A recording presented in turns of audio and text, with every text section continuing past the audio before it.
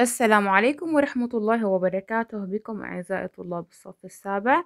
وصلنا إلى درس القراءة تحليلا أدب الأمثال. لدينا معنى المثل وسنتناول أيضا أهمية المثل. إيه، الاهتمام بالأمثال كيف كان؟ ولدينا نماذج على الأمثال. نبدأ بالأول معنى المثل. ماذا نعني بالمثل؟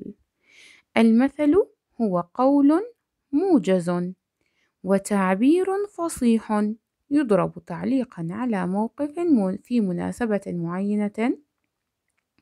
فيستحسنه الناس ويرددونه بعد ذلك في مواقف مشابهة. إذا إلى هنا هو تعريف المثل. المثل هو قول موجز موجز بمعنى مختصر يا سابع. إذا المثل هو قول مختصر. وتعبير فصيح. هذا التعبير واضح. لا إبهام فيه. يضرب تعليقا على موقف. إذا يضرب أي يقال يا مس. يقال تعليقا على موقف في مناسبة معينة. فيستحسنه الناس أن يرونه حسنا ويرددونه بعد ذلك في مواقف مشابهة. ويرتبط المثل في العادة في العادة بقصة تفسره. كل مثل له قصة غالبا كل مثل له قصة. إذا في الفقرة الأولى معنى المثل. المثل مبتدأ ما هو خبره؟ قول موجز إذا خبر وهذا مبتدأ. لدينا فعل مضارع مبني للمجهول.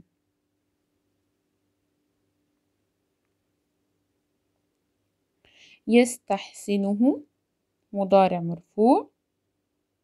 يرددون أيضا نفس الشيء. مواقف جمع تكسير.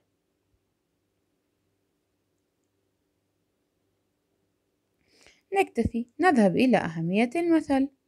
تنبع أهمية الأمثال. إذا تخرج مصدر أهمية الأمثال ما هو؟ أنها مرآة تعكس طبيعة الشعوب وثقافتها وثقافتها هي واحد. إذا تأتي أهمية الأمثال من أن هذا هذه الأمثال هي عبارة عن كأنها مرآة. إذا شبه الأمثال بمرآة تعكس طبيعة الشعوب وثقافتها. اثنان وتبرز مثلها العليا. نكمل. وتبرز مثلها العليا. تبرز أي توضح أو تظهر قيم هذه الشعوب العليا. نكمل اثنين. تصف أحوال الناس الفكرية والاقتصادية والاجتماعية. تصف أحوال الناس هذه الناس التي نتحدث عنها في هذا المثل من حيث الفكر والاقتصاد والاجتماع. ثلاثة تختصر بكلمات قليلة قصص طويلة تشمل ميادين الحياة. تختصر تختزل بكلمات قليلة قصص طويلة تشمل أماكن الحياة كافة أو مناحي الحياة كافة.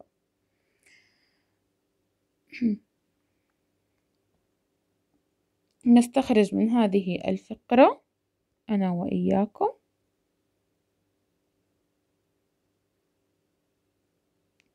لدينا أن من أخوات إن. الهاء ضمير متصل مبني في محل نصب اسم أن. مرآة خبر أن مرفوع.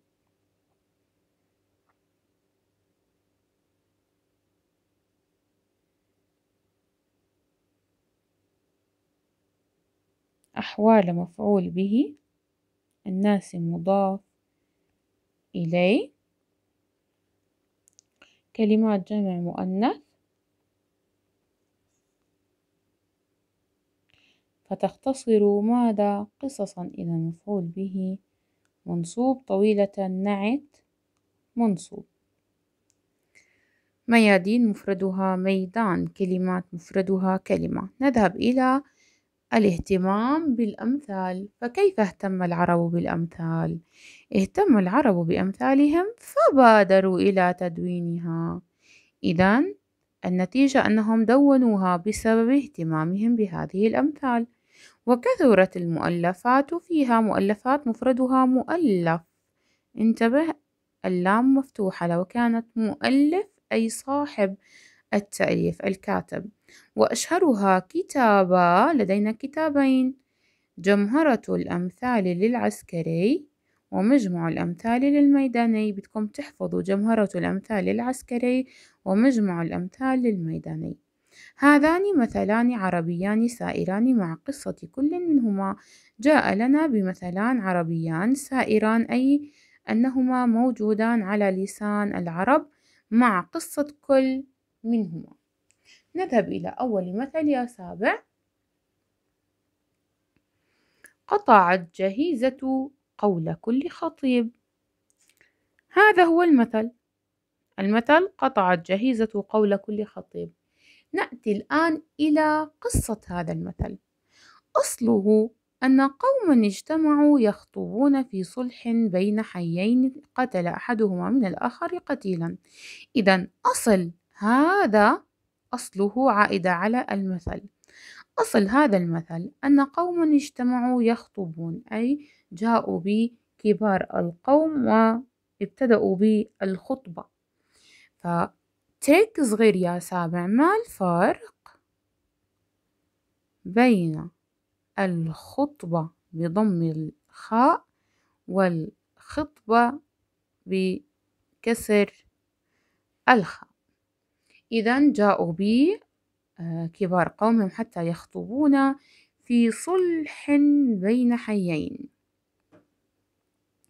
إذا جاءوا بكبار القوم ليخطبوا ويصالحوا بين حيين. الحي هو المكان السكني. إذا بين حيين هذان الحيين ما بهما. قتل أحدهما من الآخر قتيلا. إذا هنالك أحد قتل أحدا آخر آخرا فأصبح لدينا قاتل ومقتول. ويسألون أن يرضى أهل القتيل بالدية.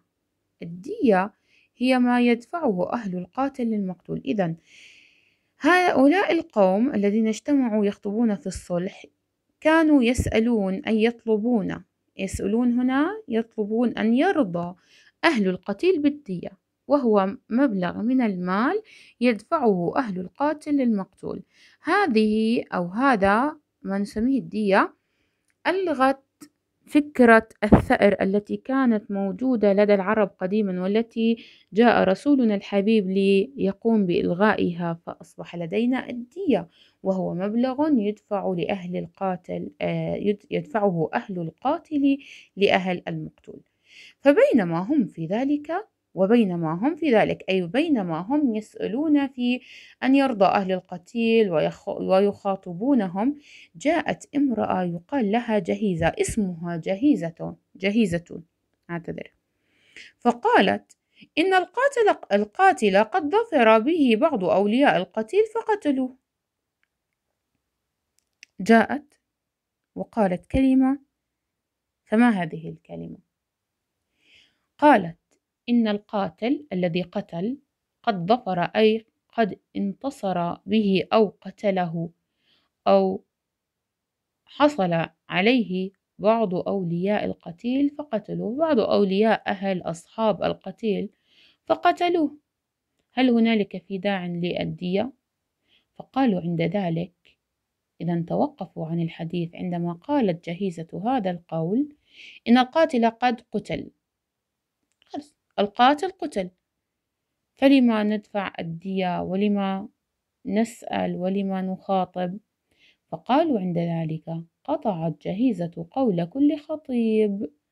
ويضرب في من يأتي برأي حاسم يقطع فيه الخلاف.